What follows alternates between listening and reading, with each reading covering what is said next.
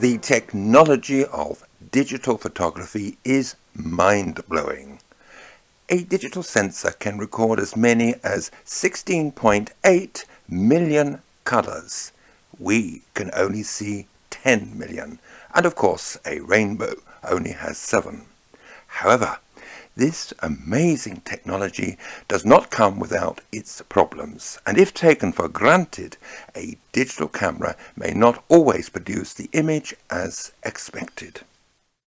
A quality digital photograph contains a lot of information, and early cameras and computers experienced difficulty in capturing and storing images because of lack of space on a memory card and the ability of a computer to process this information, even simple adjustments on Photoshop that today we take for granted. A system of image compression was urgently needed, hence the birth of the JPEG file. JPEG is an acronym for Joint Photographic Experts Group, a name given to a group of rather clever people who, from 1986, established a coding for compressing digital images, which is extremely sophisticated, and the group still meet today. Compression is made at various rates, which can affect quality. When opened on a computer, the code used by the compression process restores the image to its full resolution, but the quality can be sacrificed, especially at high compression rates. JPEG files have been around for over 30 years and are still used successfully today, but they have problems.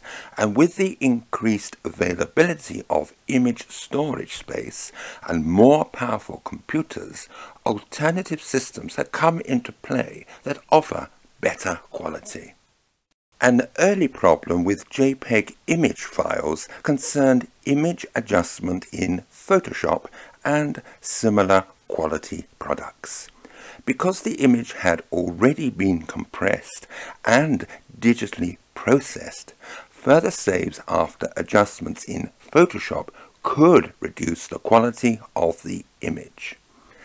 As computers became more powerful and memory cards increased in capacity, TIFF files, meaning tagged image file format, established in 1986, became popular because the photographic quality could be maintained during editing as the file was uncompressed. They occupied more space on memory cards, but still being digitally processed, they only answered the problem halfway. RAW was their breakthrough and today used extensively amongst professional and advanced amateur photographers.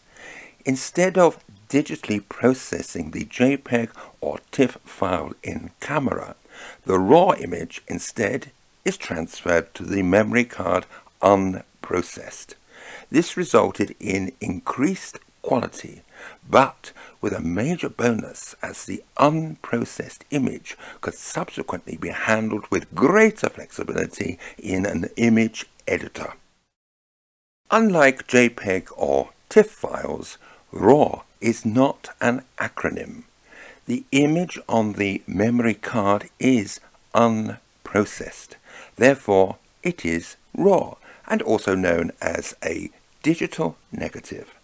First, processing is carried out in the memory of a computer, requiring special software, and then saved to JPEG later. This means that adjustments can be made as if in camera.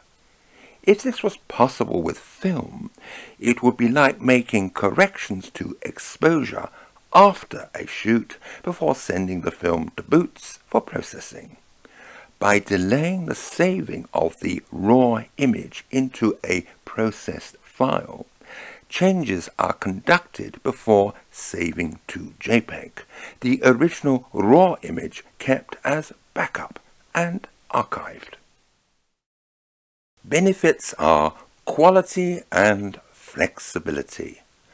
Whilst I would encourage any photographer to get their technique right when taking a picture, mistakes occur and perhaps surprisingly not everything can be accomplished in camera.